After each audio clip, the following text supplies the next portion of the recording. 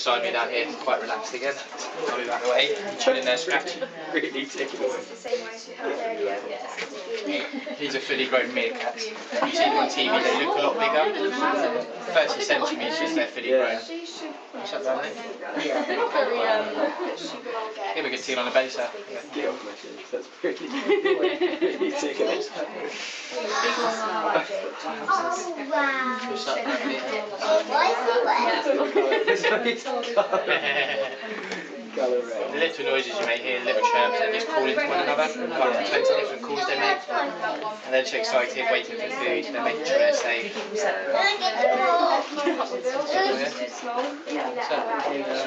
I know. We have about five in there. We've got a little baby one as I well. see. The baby. Determined to get in there. You can see the size. As you can feel it, It must like not sing. exactly sharp, are they? They're always- He just wants to get in there. Red is much red and furious. One feeds all the way Getting back. excited on the bellies there, so won't you? Turn them over. I'm going to give them the belly. Just be quite firm with them if you nudge them. The worst thing they'll do if they're not sure of something, as I say, they'll scatter away from you. Most of them are a good time. If you're quite firm with them, let them know dominancy, they'll roll over for you. Proper nudge them over, let them know your dominancy, and they'll It's just more when you're younger and not too sure if you're, if you're like this. Just get there, go into them, give it a tickle, pick him up.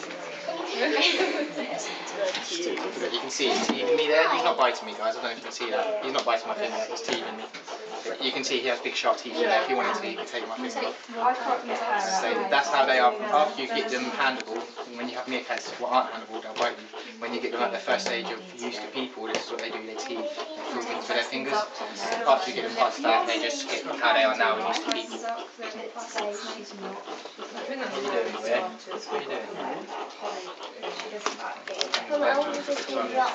you worked with the dads. The children, since the day they've been old, I've been with them, so, Oh, fairly, fairly Nice pets. Yeah, yeah. A bit more exotic. Here's my lunch. You sleep? Yeah, she lives there. Her parents and stuff. She's a blue tux. Originally it was director when, when we met, when I met her coming into the company, we expanded it more into an exotic firm.